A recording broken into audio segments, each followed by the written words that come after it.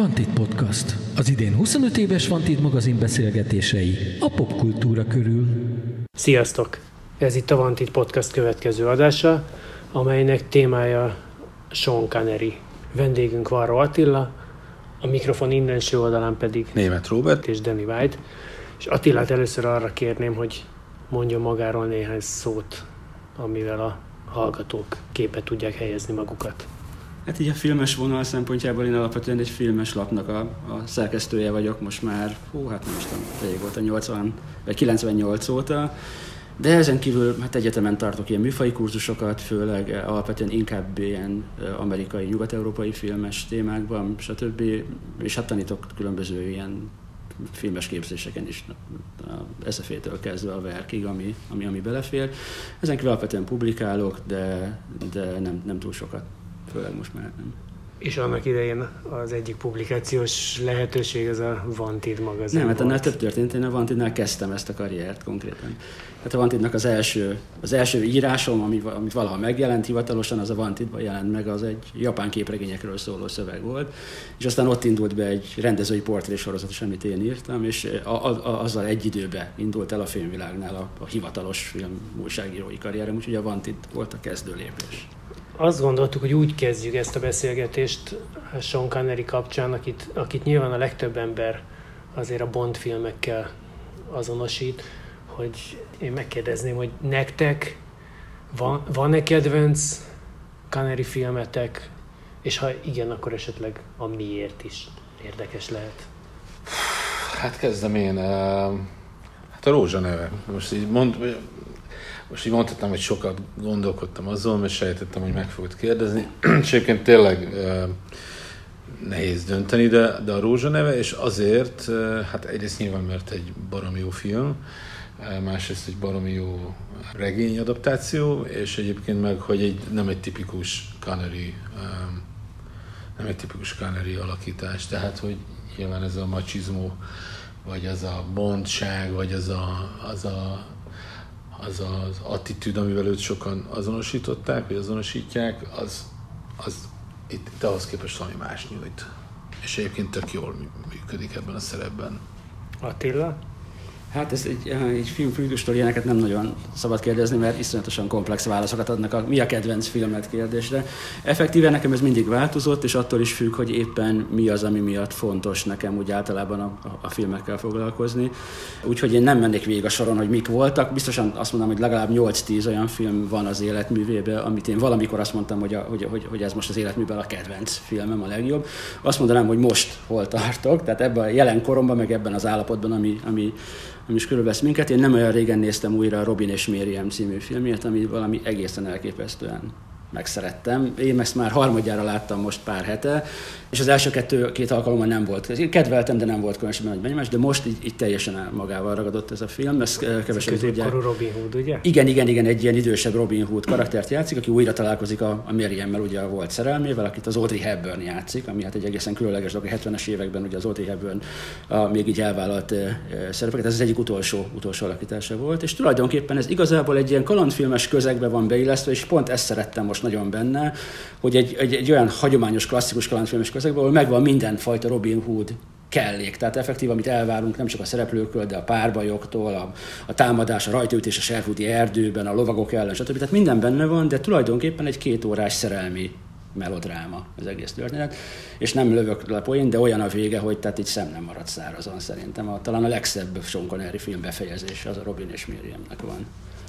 Minden esetre akkor tök vicces, mert ha nekem is szint kell vallanom, én a Robi oldalán állok, ülök, nekem is a, a Rózsa neve, és mind a hárman azért egy kosztümös filmet választottunk, ilyen kis romantikusok vagyunk mi, úgy látszik. Nekem azt hiszem, hogy egyébként most arra nem esküdnék meg, hogy ez volt az első Sean Connery filmem, amit láttam, de de azért inkább azt gondolnám, hogy lehet, hogy igen, vagy, vagy az elsők között van. Az első olyan, amire markánsan emlékszem, Egyébként nekem az első Connery film, amit láttam, az azt hiszem a Never Say Never című Bond film, amit, amit, amit, amit az apám hozott műsoros videókazettán nyugat-németből, és ez volt az első Connery film. azt is azt tök sokszor láttam, mert ugye akkor ilyen nagyon izgalmas dolog volt, hogy egy ilyen nyugati film videókazettán bekerül egy háztartásba. Pont. Na egyébként, hogy most így futottunk egy kört, És hogy... Még az elsőt egyébként? Tessék? Az elsőt mondhatom én is. Na, mond, mond, mert, mond, hogy, mert, persze. hogy, mert pont ezen gondolkodtam most a villamoson, mert úgy hogy ez biztos megkérdezitek, hogy mi, mi az első, és, és egy elképesztően érdekes a dolog, mert, mert megint csak egy ilyen kör, kör van.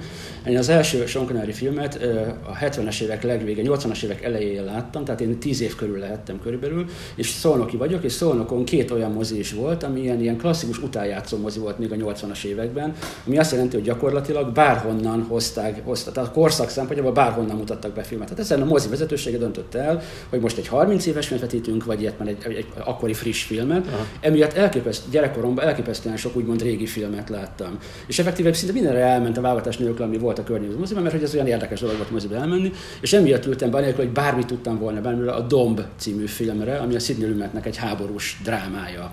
egy Egy, egy hadifogoly táborban játszódik, és nekem az egyik legjobb Sean Connery film egyébként tegyük hozzá. Szerintem mindenki szerint, tehát tényleg egy ilyen objektív mércén is.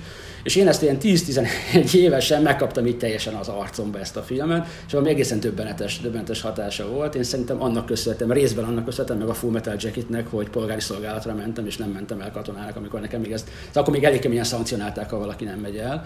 Szóval, hogy talán annyira így mélyen belém még ez az egész dolog, és ami, amiért kört ír le a dolog, hogy most, mielőtt bezárták a mozikat, a hajdani örökmozgóban, ugye, ami a filmmúzeumunk volt nagyon sokáig, ott most a, az új tulajdonosok csináltak egy ilyen Sean Connery búcsú hetet ami nem is tudott végigfutni, mert a végén már pont bezárták a mozit, szerintem az utolsó előtti napon, és az első, a hétnek a nyitó filmje az a Dom volt, úgyhogy elmentem oda és megnéztem, úgyhogy effektív az utolsó uh, Sean Connery film, amit Vásznon láttam, tehát nem, nem otthon gép előtt, az szintén a Domb. Tehát, hogy teljesen körbeért ez a dolog. Egyébként De reméljük nem az utolsó film, amit láttál. Hát Vásznon elképzelhető, sajnos. Hát akkor is a 70 évig élek, szóval amilyen, amilyen helyzet most.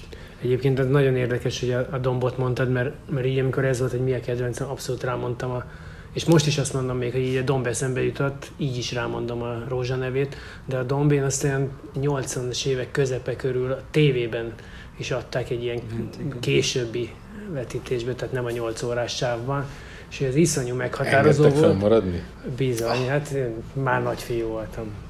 És egy pár éve le tudtam vadászni valahonnan, és akkor újra meg tudtam nézni, de hogy, hogy ez tipikusan egy olyan film, amit a, én azt gondolom, hogy az ember tini korában szívesen megmutat a, a gyerekének, most mondjuk egy fiúgyereknek lehet, hogy inkább, mint egy lánygyereknek, de hogy a, ez az erkölcsi kiállás, tehát amikor ugye nem, nem te mondod meg neki, hogy kisfiam, így kell csinálni ezt a dolgot, hanem ott látja a példát, és arra emlékszem, hogy ez egy nagyon katartikus élmény volt nekem akkor, és ebből az maradt meg, hogy ez biztos egy ugyanilyen korban levő valakinek szívesen mutogatnám. Szerintem most, hogy így ezt a kört így megmutattuk, első film, izé, legfontosabb film, mondtunk sok mindent, sokfajta Bond, eh, Bond, sokfajta Connery inkarnációról beszéltünk. Freud, hogy milyen elszólás. Igen, hogy a Bond filmeket. Egyébként érdekes, hogy Bond filmeket annyira nem, nem uh, skicceltük fel, de majd nyilván később. De hogy szerintem most beszéljünk arról, hogy, uh, hogy mennyire volt ő sokoldalú színész. Most ebből a kanyarból úgy tűnik, hogy azért, azért eléggé.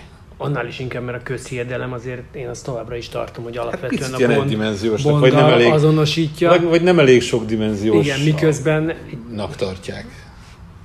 Igen, hát ez, ez érdekes ez a, ez a kérdés. Ugye effektíve ez a nyugati, meg hollywoodi típusú sztárrendszer, ez, ez a klasszikus korszakában, tehát mondjuk még tényleg így a 30-as, 40-es, 50-es évekről indulva, alapvetően heterogén volt. Tehát ha megnézitek ezeket az igazi nagy, hagyományos, most maradjunk a férfiaknál, de nem mint a nőknél más nézni, csak a férfiak most azok jobban passzolnak a Sean Conneryhez, de hogy a, megnézitek ezeket a klasszikus nagy férfi sztárokat, a Humphrey Bogart, mit tudom én, a, a, a Gregory Pecket, vagy a John Wayne, vagy nem tudom, akkor azt látod, hogy a nagy részük az elképesztően sokféle közegben mozgott. Tehát műfajilag is, korba is, stb. Tehát, hogy nem volt annyira specializált. Tehát az, ami, az amit mi most egy, egy csomó nagy sztárnál evidens, hogy a Jason Statham-től kezdve, hogy nem tudod elképzelni csak egyetlen egy bizonyos közegben, az régen nem működött. És volt egy ilyen baromi érdekes átmenet, és ez a középső generáció, ami az a Sean Connery is tartozik, azok alapvetően már egy ilyen, ilyen drámai jellegű karakterek voltak, és Kiket ritkán- még mellé neveket? Hát a, mit tudom, ha csak, ha csak a briteknél maradunk, tehát hogy maradunk azban a közegben, bő volt, mondjuk a Richard Burton például, vagy az Albert Finney például, például, tehát ez a, ez a korszak, ugye ők alapvetően drámai jellegű színészek voltak, és akkor voltak ilyen kicsapongásaik mindenféle ilyen műfajok felé, de nem, nem volt jellemző. Tehát, hogy azok ilyen, rossz szóval, de hogy ilyen, ilyen művész sztárok voltak. Mm. Tehát így az maradt meg az emberben, hogy, hogy ami, ja igen, amikor, a, amikor az Olby darabban, el, a drámában eljátsza Richard Burton, ugye a fő. Tehát, hogy nem, nem az maradt meg benne, hogy ül egy lovon, és nem tudom, mint a John Wayne-nél, hogy rögtön láttál egy ilyen kalandfilmképet magad előtt.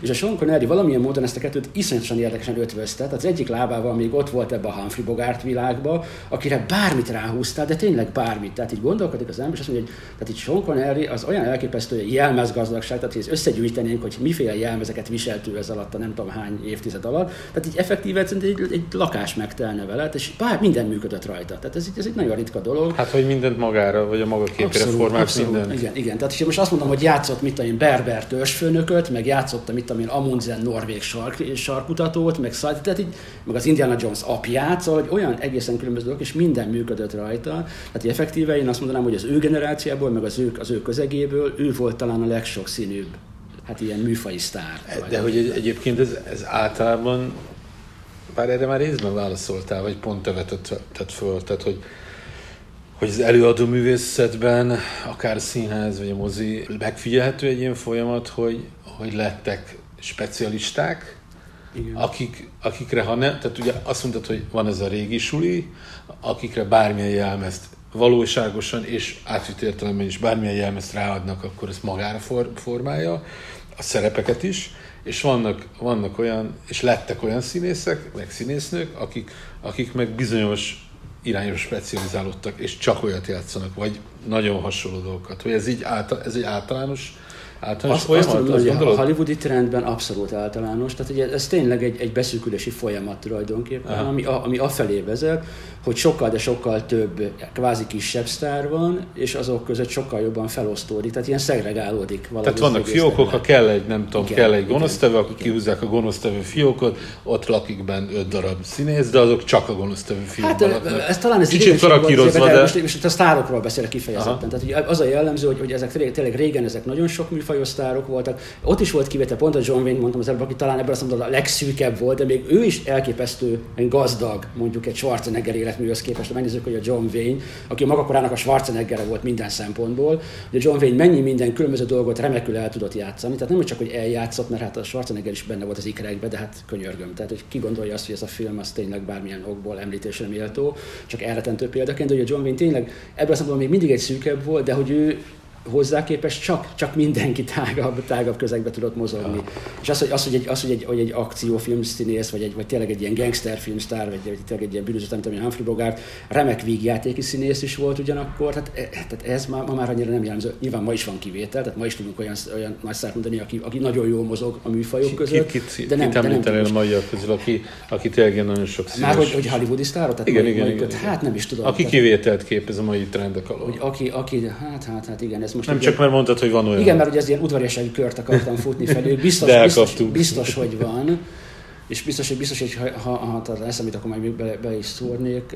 Hát nem is tudom. Figyelj, de visszatérhetünk Lehet, később igen, hagyjunk neki egy kicsi időt érni. De, azt, azt nem győzöm de majd akkor, akkor jelzem, úgyis, hogy beszélgetünk vagyunk, majd akkor jelzem eszembe jut valaki, de az biztos, hogy itt, itt ezen kell gondolkodnom, a, Hollywood, a klasszikus Hollywoodnál meg az ellenkezőjén kell igen, igen, igen, igen. De egyébként ez azért is érdekes, mert ugye azért Sean Connery előképzettsége hát ha nem is a nulla volt, de azért 20 éves kora előtt gyakorlatilag nem került a, a színház közelébe.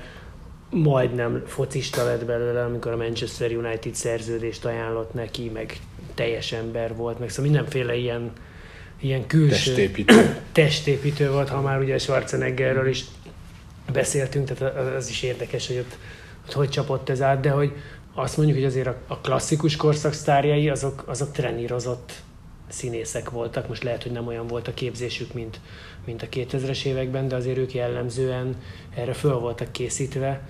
Canary meg kvázi felépítette magát, vagy? Itt megint, itt megint a három generációba különbség van. Tehát, hogy mint az előbb is azt mondtam, tényleg több mint három generáció, de egy három ilyen központi van, és az, ami, tehát, hogy azok a klasszikusok, akik tényleg ez az első vonalas sztárok, ott bármi volt. Tehát oda a Sonkonári bármikor beilleszkedhetne, tehát nála rosszabbak is voltak. Tehát volt olyan, aki mondjuk gangsterből lett filmsztár például, ott a George Raft például, de hogy, hogy a, ami, ami a, amiben a, a Connery generáció van, az előbb is mondtam, tehát a Burton, a Finney, a, a, a, a, a Nicole Williams, mit tudom, tehát ezek a, ezek a 30-as, 40-es évek táján született, főleg most a britekről beszélünk, de az amerikaiaknál is, náluk alapvetően ez a drámai képzettség, ez tényleg nagyon meghatározó volt, és ebből viszont viszont, viszont kilógott a Sean Connery, tehát ezért mondom, hogy fél lábbal egyik másik, ebből a lábbal ő visszament a régi, tehát olyan volt, mint a Clark Gable vagy az Errol Flynn, akik szintén, Errol Flynn sírásó volt például, meg nem tudom mi mielőtt filmsztár lett volna. Tehát, hogy ebből azt hozzátartozott, de abból meg nem, hogy közben meg azért a drámai oldala sokkal erősebben jelen volt nála. Tehát az, az ő pályának az eleje ugye az az a korszak volt, amikor a televízió megjelent. És ez egy egészen izgalmas korszak volt, a, a, hát a színészek szempontjából is, de minden szempontból, mert a televízió az 50-es években egy olyan művészi színvonalat jelentett, amit azóta sem. Tehát ezt kevesen gondolják, de hogy akkor a televízió az olyan volt, mint ma a színház formán, tehát hogy a, leg, a legnevesebb alkotók dolgoztak oda, a legkomolyabb, akár fiatal rendezők, stb. És hát rengeteg olyan tévés produkció volt, ami nagyon-nagyon komoly művészi színvonalat képviselt. Amerikában is, a briteknél is, tehát a BBC-nél is. Meg Magyarországon is egyébként. Akár Magyarországon is, igen, igen, igen. És hogy ebből a szempontból, vagy a Connery pont beleesett ebbe, tehát hogy nagyon fura belegondolni abba, hogy egy olyan fickó, hogy elmondta tényleg, hogy így gyerekkorában teljes tejet hordott, meg utána nem tudom, tényleg izét testépíteni, mindenféle csinált, meg a haditengerészetnél szolgált, hogy ő mondjuk 61-ben vagy 62-ben, tehát akkor, amikor gyakorlatilag négy-öt éve van már van ezen a pályán csak, mondjuk a BBC televíziós magbetjében címszerepet játszhatott. Tehát, hogy valamilyen szempontból itt van egy nagyon érdekes át, átjátszás ebben az egész dologban, hogy, hogy ott van ez a, ez, a, ez a klasszikus fizikai hollywoodi típusú sztár, meg ott van ez a, ez, a, ez a brit vonalra jellemző drámai vonal, és ez nála nagyon korán, nem is azt mondanám, hogy egy ilyen szervesen kialakult, hanem egy ilyen nagyon durván összeütközött. Tehát úgy hagyd nem mondjam, hogy ha megnézi az ember azért egy-kettőt pont, pont az elmentett Macbeth például fenn van a YouTube-on, meg lehet nézni. Tehát megnézed ezeket, hogy tudom, Ronski volt például egy Anna Kareninában, gondoljátok el a Sean Connery, mint Ronski. Tehát, hogy mennyire hihetetlen karakteridegen szerep. És nagyon nem működött ez a dolog. Tehát nagyon szenvedett ezekben. Nem volt jó, nem érezte magáénak, tehát hogy tényleg nem. De látszott, hogy, hogy megy előre, tehát hogy nagyon keményen. De és hogy valamilyen összetalálkozott ez a két dolog után. De egyébként akik kipróbálták őt ezekben a szituációkban, azok hittek benne vajon? Vagy ez, ez tök érdekes, mert hogy, vagy, vagy azt gondolták, hogy alkalmas lehet erre? Hát az, az hiszem, hogy ami, ami, ami mindenkit megfogott, az nyilván az a karizma volt, meg ez a férfiasság, ami járat belőle. Igen. És nyilván én is úgy gondoltam volna az időben, hogy jó ötlet rábízni egy magbetet. Megnézve ezt a Bips adaptációt, nem mondanám, hogy olyan jó ötlet volt. Tehát, hogy küzdködik egy Shakespeare szöveggel. Tehát, vagy, hogy az, vagy, az, az annak Karenin a szerepben. Hát az aztán pláne nem. De még a magbetnél legalább valamennyire ott azért mégis volt egy, egy nagy skót harcos, tehát ott, ott valahogy azért benne volt ez a koneriség, de nem, de nem, ott se tudta hozni magával ezt a drámai, ami, ami, ami kell, kell ahhoz, hát hány év szakmai rutin kell a Nagy-Britanniába kellett ahhoz, hogy valaki magbetet játszhasson színpadon. Tehát, hogy egy no way, tehát, hogy egy nem. Egy ilyenkor, hát ő volt akkor nem tudom mennyi, 30 éves volt akkor, Igen, nem is játszhattak volna szintet. A 30 éves színész akkor se, hogyha a bölcsőben már, nem tudom, Shakespeare szóval akkor játszott volna a színpadon. Hát rábízták, mert ő olyan, egy, olyan, egy olyan nagy tökös skót csávó volt, és tényleg érezték, hogy van benne egy iszonyatos őserő. És hát ezért mondom, hogy neki ezzel meg kellett küzdeni ezzel a dologgal. Nyilván hmm. Errol Flint nem bombázták Shakespeare szerepekkel, ő nyugodtan nyomatta a nagy kardozós tucokat, fiatalokat, mert az értett. Szóval sokan ez egy nagyon-nagyon érdekes, érdekes kettősség volt. De egyébként ugye állítólag az is volt, hogy még a Bond kiválasztásnál is az Ian Flemingnek se, meg hogy ott a stábnak se feltétlenül lett volna az első választása, de aztán most már nem tudom, ezt lehet, hogy Attila jobban tudja, hogy, hogy így kb. az volt, hogy azt mondták, hogy valaki megnézték, és azt mondták, hogy fú, hát ez a csávó, ez olyan karizmatikus, és így úgy jön le a vászonról, hogy akkor legyen ő. És aztán, aztán innen elég szépen kinyílt a, spektrum, mert pont amikor az előbb mondjuk azt mondtad, hogy Jason Statham, nekem ez így benne volt egy későbbi kérdésként a fejembe, hogy, hogy vajon kihez tudnánk hasonlítani esetleg a mostaniak közül az ifjú Connery-t, és hogy amikor mondjuk eszembe jutott a Jason Statham neve, akkor azért úgy, hát nem tudom, vannak kérdéseim a felől, hogy mondjuk, mondjuk 50 év múlva ha lesz egy ilyen beszélgetés, amiről szintén vannak kérdéseim, akkor az ő előkerülne? Tehát, hogy az inkább Igen, Vagy rábízzák a Jason Stathamre 8 év múlva mondjuk a Rózsa neve remake a, a, a, igen. a Baskerville Vilmos szerepét nem Igen, igen. Nem szóval, hogy ez egy Viszont szerintem most akkor, hogyha itt vagyunk a Bondnál, mert azért ez egy, most még ha egyikünknek se feltétlenül az a az a szívecsücske, azért ez egy Én megkerülhetetlen bírom a Bond filmeket. sztori. Én keveset, de azért ott, ott szóval sok mindent lehet mondani, de azért ez volt talán az első franchise teremtő filmeposz, vagy nem tudom mit mondjak róla. Ezt te hogy látod, hogy, hogy mennyire fontos ezeknek a filmeknek a, a szerepe? Különösen esetleg annak fényében, hogy, hogy a Bondot ugye így emlegetjük, miközben amikor, amikor ez elindult a 60-as évek elején, akkor, akkor nem, nem egy, nem kettő hasonló tematikájú, vagy, vagy hasonló szándékoltságú film volt. Olyannyira, hogy mondjuk, a, mondjuk az Angyalnak a, az első epizódját, ami ugye tévés film volt először Roger Moore-ra, azt egy nappal előbb mutatták be, mint a, mint a Dr. Note, az első Bond filmet. Mitől, mitől tudott több lenni, mint ezek a párhuzamosan induló cuccok? Hát én nem tudom igazából, hogy a Simon Templaron kívül egyébként mennyire volt neki akkor. Moziba szinte biztos, hogy nem, televízióban talán azt nyilván nehezebb lekövetni, de hogy mennyire voltak kortársai, szerintem nagy, a, a nagy rész, tehát az egész hullám, ez, ez, ez utána indult el, tehát ezt a Bond indította el, tehát hogy utána Biztos a 60-as sok évek epigon volt, közepétől sok, sok, ilyen, sok ilyen próbálkozás volt a D. Martinnak, meg nem is tudom, a James Coburnek, tehát megvoltak ezek a Matt Helm filmek, meg mit tudom én, de ezt valahogy a Bond kezdte el szerintem igazán, tehát hogy, hogy valahogy, valahogy ő ott nem becsatlakozott, hanem csinált egy trendet. És mi, mi volt a catch ezeknek a filmeknek? Szóval mitől, mi, mi, mi, mi, de azon kívül, hogy oké, okay, láttunk már olyan filmeket, ahol a drága autókon ö, száguldoznak, összetörik őket és szétlövik egymást, és vannak jó nők, meg jó pasik, és titokzatos történetek, de nem mindegyikből lesz Bond brand.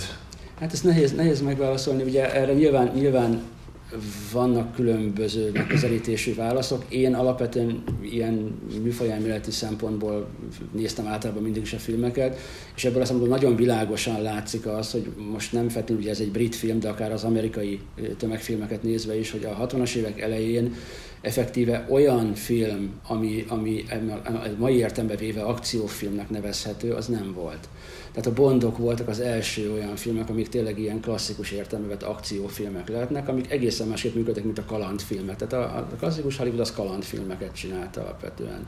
Ami nem csak azt jelenti, hogy, hogy, hogy nem helyezte annyira az akciókat modern környezetben, mert az akciófilm az főleg erről szól részben, hanem arról is, hogy nem nagyon merte az akciókra bízni a cselekményt. Ez egy nagyon fontos váltás volt a Bond filmeknél, és egyébként hozzá, hogy ennek, ez még csak nem is volt semmi köze az ilyen Flemingnek, tehát a regények sem ilyenek. A regények is hagyományos, klasszikus, tehát elolvasod, ezek ilyen klasszikus kémregények. Uh-huh. Azok, amiket filmeket csináltak belőlük, azok viszont már alapvetően akciófilmként működnek. Tehát ez ott, ott valahol az alkotókat, a producereket, a brokkolékat, nem tudom ki dicsért, hogy, hogy valamilyen módon csináltak egy ilyen nagyon kemény váltást ebbe az egészbe, és hát ez a közönséget elképesztően jól elkapta. Tehát nyilván itt most arról kéne ódákat zengni, hogy a, hogy a Sean Connery mennyire karizmatikus volt, meg ilyesmi, nyilván ennek is nagyon fontos szerepe lett, de én úgy látom, hogy itt a Bond filmnek a sikere az abban, az abban áll, hogy leplezetlenül azt mondta a nézőnek, hogy te itt most tulajdonképpen ebbe a két órába kapsz hat darab akciójelentet, amit összekötünk valami kamucuccal, de az annyira nem érdekes.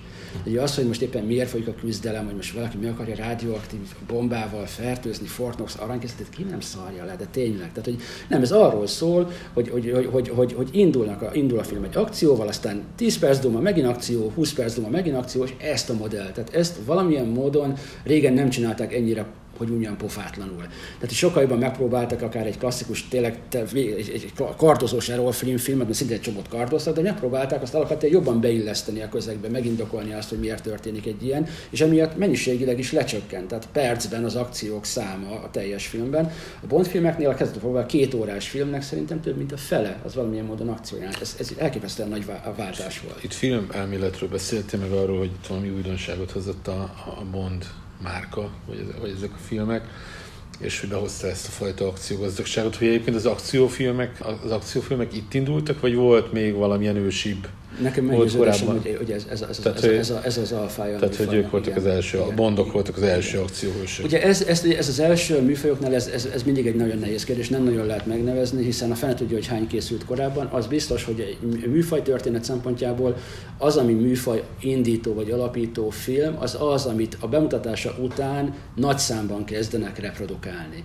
Vagy, vagy akár úgy, hogy, hogy akár csak azt tényleg, hogy elképesztően híres lesz, és nagyon sok helyen levetítik, és tényleg az első Bond film az tényleg bejárta az egész világot, vagy úgy, hogy rögtön elindulnak a folytatások. Hát ugye ezt látjátok, hogy látjátok, hogy a, a, a Sean Connery Bond filmek azok szinte évente jöttek eleinte. Igen.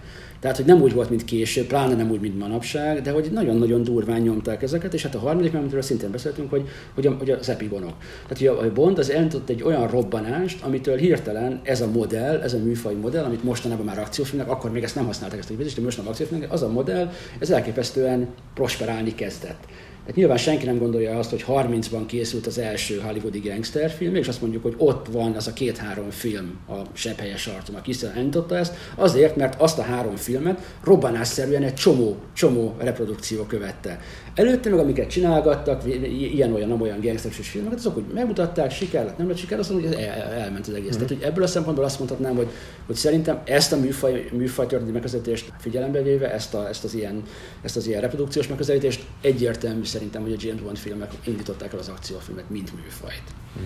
Különben az érdekes, amit mondtál, hogy, hogy láttunk sok olyan filmet, ahol, ahol jó kocsik, jó csajok, drága italok, mm. tehát ez a, ez a luxus dolog, de azért most így azon gondolkoztam közben, hogy azért ez a 60-as években, nyilván ezt mi csak tippelni tudjuk, korunknál fogva, de, hogy, de hogyha megpróbálom úgy az egyéb történelmi ismereteimet rávetíteni, akkor egyébként ez is lehet, hogy ott egy, egy újdonság volt talán a, a dologban, hogy, hogy ilyen mennyiségben is, hogy azt mondod, hogy ez egy, egy, egy embernek kvázi a szuper képességeihez ezek hozzá tartoznak. Tehát ő, ő ugye nem átváltozott tühöngő zöld emberré, hanem neki voltak mindenféle kütyüjei, tehát hogy, hogy talán ez is egy olyan, olyan ismérv lehetett, ami nem tudom, hogy mennyire volt korábban jelen, de nekem innen nézve újszerűnek hat. Az, ilyen, az ilyen technikai kontextus? Hát techni- igen, de hogy ebbe tényleg beleértve azt is, hogy a drága kocsikkal furikázunk. Tehát mondjuk tíz évvel később a, a mindenlében két kanálban, ahol ugye tök ez volt a fölrakott modell, meg hogy egy csomó olyan film lett később tényleg, de, de hogy ott Szóval azért a 60-as évek elejéről, vagy az 50-esek végéről, a 60-as évek elejéről azért, azért eléggé nekem a hidegháborúnak egy ilyen sötét, lesötétített verziója jut eszembe, vagy, vagy én azzal azonosítanám, aztán fene tudja, hogy jól vagy nem. Hát a 30-as években azért alapvetően voltak, voltak már törekvések arra, hogy ezt a fajta technikai definiáltságot hozzáadják az akció, az a saját kalandhőseikhez, inkább azt mondom, hogy kalandhősökhöz, tehát mit tudom én, a Dick Tracy mozisorozat, vagy mondjuk a korai Batman mozisorozatok, szóval ott mindenütt megvoltak már ezek a gizmok, ezek a gadgetek, ezek a kis technikai kütyük. Csak azért azok ott, ott egy olyan személyhez kapcsolódtak akkor, ha jól értem, aki, akire azt mondtuk, hogy egyébként most természetfeletti képességekkel rendelkezik, nem, vagy nem, valami. Nem, se a Dick Tracy-re, se a Batmanre ez nem igaz. Tehát, hogy vőbe belegondolsz, akkor a Bruce Wayne tulajdonképpen egy James Bond figura, aki smoking helyett denevér ruhát visel. Tehát, hogy ott van ugyanezek a, a luxus, a, a, a milliómos közegben mozog, tehát stb. Tehát, hogy effektíve tényleg hol smokingban van, hol bűnüldöző ruhában, csak hát nála ez a ruha egy kicsit bizarrabb. De hogy valamilyen módon ez a fajta modell, ez főleg annak köszönhető alapvetően, hogy ugye, ugye a, a, a, a a gyerekképregények azok nagyon erősen nyomták ezt a fajta képet, és hát ugye a, a, a, az amerikai filmben ebben a tájban, tehát 30-as évek végén, 40-es évek elején kezdték el először ezeket a képregényeket adaptálni. És ezek vették már magukkal azt, ami népszerű volt a képregényben, ami a Dick Tracy ugyanez, tehát az órájával, amiben lehetett beszélni, tehát ugye ez, tök ugyanez a Bond világ. Ezek mentek át egyenesen. A különbség az, hogy ebből ott nem lett akkor trend, tehát ez, ez nem, nem vált érdekessé ez a figura. A 60-as évek elején vált érdekessé, hát ez egy, az egy jó kérdés, hogy miért. Nyilván ott, ott már valami szociokulturális dolog van, a, van az egészben, hogy, hogy akkor a közönség miért, miért bukott rá jobban erre az egész dologra, hogy, hogy, hogy, azt, hogy ezt el tudjuk fogadni, majd egy felnőtt néző el tudja fogadni azt, hogy valaki fölrak a hátára egy jetpacket, és így elrepül. Tehát, hogy, amit tényleg tehát nehéz nem nevetni rajta manapság. Hát figyelj, ma most van a Mandalorian, ahol, igen, a, igen, igen, de az már igazán a másik, ahol a fejvadász repül el.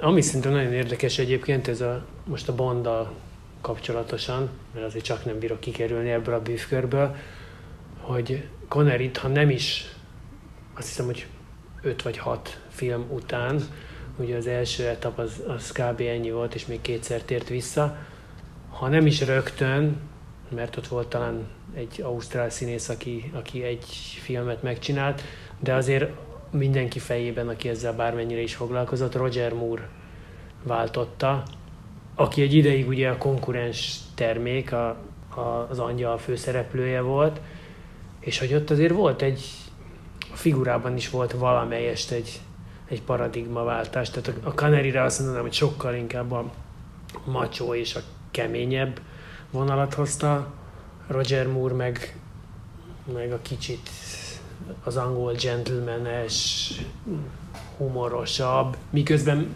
nyilván ugyanúgy megvoltak ugyanazok az attribútumok, hogy ez tök érdekes, hogy, hogy így váltottak, és hogy aztán én, én amennyire követtem a, a James Bond tematikát, többé-kevésbé erre a két karakterre próbálták aztán utána ráhúzni a, a szereplőket, és mint mondjuk a Daniel Craig inkább a, a Canary vonal, a Pierce Brosnan meg nyilván inkább a Roger Moore vonal. Nem is tudom, hogy mi a kérdés ezzel kapcsolatosan. Itt nem volt kérdés. Egyébként azt most néztem csak, hogy a, hogy a Roger Moore ugyanúgy 90 évet élt, mint, mint Sean Connery. Ha kijövünk a, a bondos vonalból, akkor azért azt tényleg láthatjuk, hogy sok mindenkivel dolgozott, Hitchcockkal is például a Márniban. Volt ugye a, az, aki legyőzte Al Capone-t, amiért aztán, aztán Oscar díjat is kapott, egyetlen Oscar díjat. Hogy kezdett el színesedni neki ez a, ez a paletta, illetve, illetve mennyire kezdett el színesedni, ez csak azért merült így föl bennem ez a kérdés, mert, a, mert ha arra gondolok, hogy az Indiana Jones apukájaként, ugye, amit mondtál, tulajdonképpen egy kicsit ugyan másképpen, de ugyanazokat a, a fő vonz erőket vonultatja föl talán, mint James Bondként, pedig hát az, az két homlok egyenest ellenkező karakter. Igen, mert ott már, ott már értelmiségi figurát, ez egy nagyon fontos váltás. Tehát, igen, de azért ott is benne, tehát, hogy, hogy csibész, és közben közben sármos, tehát ott még mindig jönnek a nők utána, tehát ez... Hát nyilván ezeket a, ezeket a skilljeit nem akarta a rendező sútba dobni. Hát ugye, ahogy nem is mondtam, igazából neki, tehát ő, ő rá, rá volt kényszerítve ez a színesedés, mert ebben a televíziós időszakban, tehát az 50-es években, amikor elkezdte ezt a pályát, az 50-es évek közepén, akkor alapvetően tévés színész volt, és ott effektíve, mondom, bármit rábíztak. Tehát ennél, ennél jobb példa tényleg, hogy annak arénában játszon, ez, ez egészen, egészen bizarr. Tehát itt mindenféle dolog volt. Az érdekes, a kérdés az igazából az, hogy, hogy amikor a Bond beütött, és a Bond siker, ami tényleg hirtelen szupersztár csinált belőle, hogy utána hogy kezdett ez elműködni, hiszen ott effektíve volt ez a beskatujázás. Tehát az, hogy ő előtte, tehát hogy 58-ban ugye az első nagy, nagy központi, tehát olyan film, ahol effektíve nem is ő volt a fős, de komoly főszerepet játszott, ugye ez a Another Time, Another Place volt, ami egy ilyen, ami egy ilyen klasszikus hollywoodi szerelmi melodráma volt például, akkor játszott ott vígjátékban, játszott ilyen nagyon fura Disney mesében, tehát az, tehát az 50-es évek vége, 60-as évek eleje az egy elképesztően sokszínű dolog. És aztán utána volt ez, hogy jött, jött rögtön négy éven keresztül évente egy Bond, és akkor mit, mit, mit tud csinálni. És itt volt nagyon szép az, hogy, és ez, ez ami abszolút őt dicséri, hogy ő ettől az, ettől az első pillanattól kezdve nagyon határozottan tisztában volt, hogy ő nem akarja azt, hogy, hogy, tehát, hogy ha már egyszer őt az elején megkínálták különféle szerepekkel, akkor maradjon meg ez a, ez a stratégia, akkor is, ha ne adj Isten, ezért ő szív. És többször volt a pályán olyan pont, ahol, ahol szándékosan választott elképesztően karakteridegen, vagy az ő rajongótáborának az igenétől idegen figurát, csak azért, mert, mert a sokszínűség miatt, mert ő ezt mindenképpen fönn akarta tartani. És itt egy, egy dolgot érdemes megegyezni egyébként, ami, ami megint csak nagyon, hát egy ilyen átmeneti figurává teszi őt, de hogy a, hogy a Sean Connery egy olyan, olyan sztár volt akkoriban, aki effektíven nagyon erőteljesen fenntartotta magának a szerepválasztásnak a jogát. Ezt nagyon fura így kijelenteni, de hogy a klasszikus Hollywoodban ezek az elképesztően nagy formátumú sztárok, ezek azért alapvetően ki voltak szállatva a stúdiónak. Tehát egy Humphrey Bogart is ki volt a stúdiójának például. Tehát nem nagyon mondhatta meg, mondhatta meg azt, hogy ő miben játszik, vagy miben nem. Amikor már volt, amikor független célt alapítottak, még ilyesmi, voltak egy szabadások, de hogy stúdió színészként nem tették ezt meg.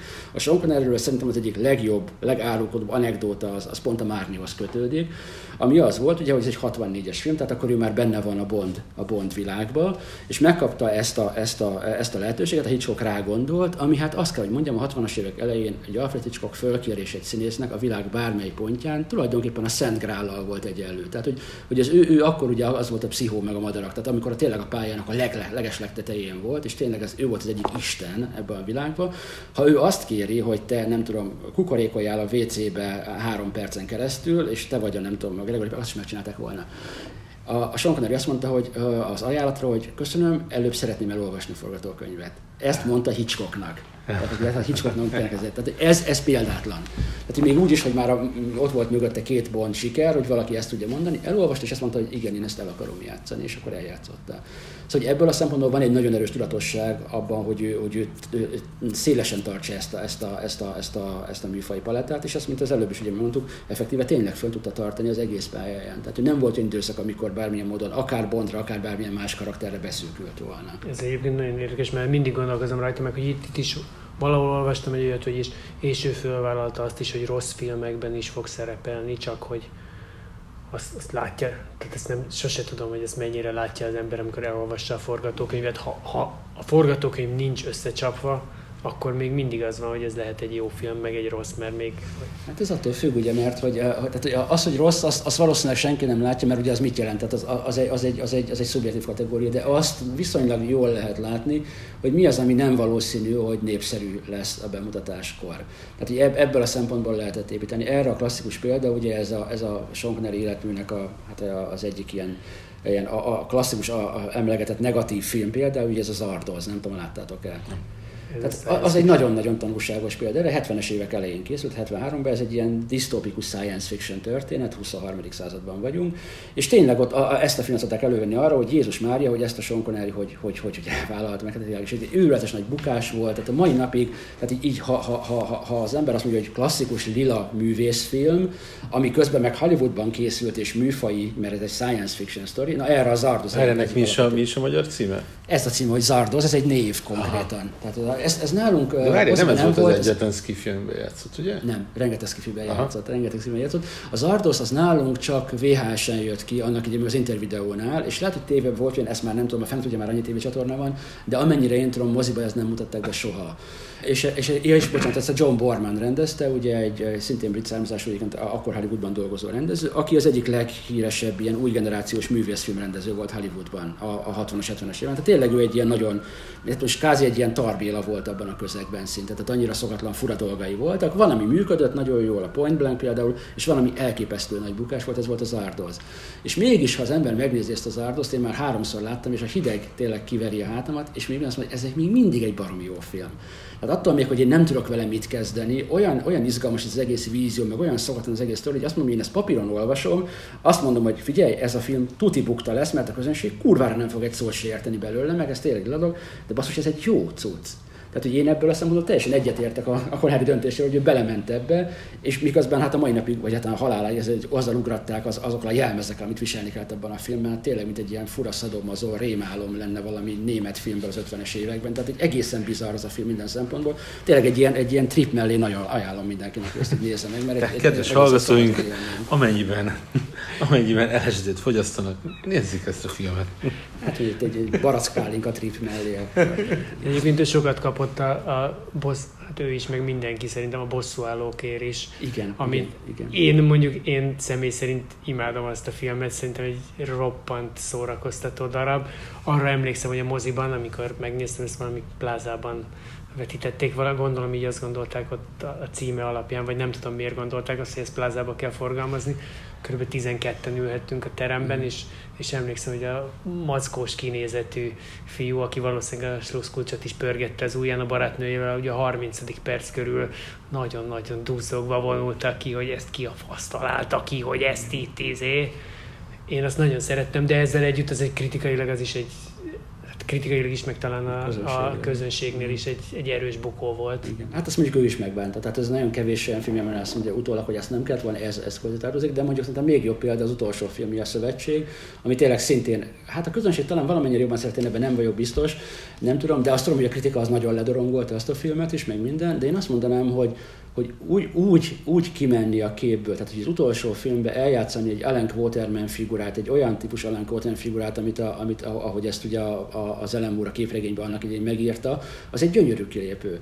Hát, hogy én ezt nagyon-nagyon-nagyon-nagyon, hát hogy mondjam, jó, nyilván jobb lett volna egy lírkirállyal elbúcsúzni mondjuk a filmezéstől, de, de a Sean de én azt mondom, hogy szerintem az Ellen Quatermannél sokkal rosszabbat is választhatott volna. Tehát, hogy én még ott is érzem azt, hogy, hogy ott van egyfajta igazolása annak a döntésnek, hogy ő rá, ráborintott arra a filmre. Hát és egyébként ezt ő választotta is, tehát hogy, hogy nem az volt, hogy utána már nem kapott több szerepet, vagy, igen, vagy nem kínálták igen, meg akár még nagy pénzes szerepekkel is, hanem ő azt mondta, hogy, hogy ennyi volt, srácok. Igen. Igen. A macizmó. Mert ugye ezt érintettük egy kicsit, és ami, ami a, a filmben, meg a, a vásznon jól jött ki, azért ő nagyon, nagyon sokáig komoly támadások keresztüzébe volt, mert azt hiszem, hogy 65-ben talán a, a Playboyban azt mondta, hogy hát egy, egy nőt is meg lehet ütni, hát persze nem, nem ököllel, de hát ha, ha kiérdemli, akkor, akkor ez, a, ez a mód. Hogy az életbe ezt nem fogadták el tőle, a, a filmvásznon meg gyakorlatilag ugyanez a típusú mentalitás egy, egy ünnepelt dolog lehetett. Igen, hát ugye ez a, ez a, ez a manapsági divatos kifejezés, ez a toxikusság, tehát hogy ez, hogy ez a macsizmó, ez mennyire volt toxikus, mennyire számít toxikusnak, azért ez egy nagyon érdekes kérdés. Mert hogy én mindig nagyon ellene voltam annak, amikor a magánéleti dolgokat belekeverik egy művész, egy életműbe. Tehát, hogy ez, ez tényleg szerintem két teljesen különböző dolog. Most ez a Polanszkinál, meg egy csomó, csomó embernél ezt elő lehet hát venni. A is. De itt, itt, itt azért, sűrűn. Igen, de itt azért ez egy nagyon érdekes kérdés, hogy vajon magából a, a, a Connery-nek a pályájából mennyire árad a macsizmónak ez a toxikussága. Szóval ebből a szempontból azért ez egy érdekes, érdekes dolog lenne. Az, hogy most ő miket nyilatkozik, miket nem, miket von vissza, stb. Meg hogy egyáltalán milyen ember ő, vagy hogy milyen patkány, vagy nem tudom mi, az, az egy teljesen más kérdés, úgy gondolom, amikor... Valószínűleg, amikor valószínűleg nem egy színű, tehát valószínűleg nem, nem egy dimenziós, valószínűleg igen, nyilván, tehát, hogy azt, azt lehet tudni, hogy, az első feleségét is nagyon durván bántalmazta, ugye erről nem csak, nem csak a nő számolt be, de ismerősök is, stb. Tehát ugye azért, azért itt valamilyen módon volt, mozgott a háttérben igen, valami, ami, igen, ami igen, egyértelműen, igen. egyértelműen negatív. Tehát ugye ez tényleg ez egy ilyen, ilyen játék. Az, az mondom sokkal érdekesebb, és nem csak a Bondra gondolok egyébként, mert ugye most végig gondoljátok a, a Sean Connery Bond filmeket, én azt mondom, hogy szerintem a doktornő kivételével mindegyikbe vernőt. És ugye, ugye nyilván vannak ebben különböző szituációk, hogy nyilván valamikor azért veri, mert a nő meg akarja ölni. Tehát, hogy mit tudom én, az a két bérgyilkosság hát. például az a, a Diamonds Forever-be, az, az, az, tényleg egy elképesztő, a Diamonds Are Forever-be. Ott nyilván, nyilván valamit csinálni kell, mert az a két nő az, az lerúgja a fejedet, de hogy, de, hogy, de hogy nem, hanem hogy tényleg minden egyes filmben, mondom a Dr. No-ban talán nem, de hogy van egy olyan, hogy, hogy tényleg amikor szóra akarok bírni valakit, akkor, akkor letépem a ruháját, vagy pofonvágom, vagy nem tudom, neki nyomom a falnak, vagy bármi. Tehát hogy ez, ez nála egy ilyen tökre benne volt ebbe a Bond figurában amit nem hiszem, hogy most így, ezt, ezt persze nem, nem merem így kijelenteni, de nem hiszem, hogy akár a Roger Moore, akár a Pierce Brosnan bármikor megtette volna, de lehet, hogy igen, nem tudom, de én nem hiszem egyébként. Részben azért ugye, amit így nem tudom hány perc ezelőtt emlegettünk, hogy ők azért más karakterek is voltak. Tehát a, igen, a, igen, de jó, mit tudom a, a, a bondságnak egy más vagy, vagy arculatát hozták se hinném ezt el. De az, hogy, az, hogy mondjuk, mondjuk, mondjuk melyik az a Thunderbolt, van, például, hogy amikor, amikor egy, egy, egy rátámadó bérgyilkosnak a golyóját azt úgy védi, hogy, a, hogy maga elé rántja a nőt, és a nőt lövi le helyette a bérgyilkos. Jó, az egy gonosz nő, tehát egy negatív hős, tehát nem, egy, nem csak egy arra járó lány, de hogy akkor is. Tehát, hogy bele abba, hogy azért ez a fajta Bond kép, ez egy kicsit túllép már azon, ami, ami a, na, keménykező vagyok, na azért egy nőt is meg lehet, hogy nyitott rá, stb. dolog, hogy valamilyen módon kommunikált egy, egy dolgot, de nem, nem is ez az érdekes, azt mondanám, hanem az, hogy a Bondon kívül ez hogy jön elő. Tehát hogy az összes többi ebben a nagyon sok színű világban hogy jön elő, és azt kell, hogy mondjam, hogy amennyire én tudom gondolni az életművet, nem hiszem, hogy, hogy abban az ő generációjában lett volna férfi sztár, akihez több nőverés kötődik filmekben, mint hozzá. Tehát, hogy valamilyen módon nála ez, ez benne volt az image-be, amit, ami már egy sokkal érdekesebb dolog. Ugye erre, erre a legeslegszebb példa az, hogy, a, hogy az előbb emlegetett nagy kedvencem, a Robin és Miriam, hát ugye, ha van olyan akármikor Hollywood történetben van egy olyan színésznő, akit senki nem ütne meg a világon, semmilyen helyzetben, az az Audrey Hepburn, nem?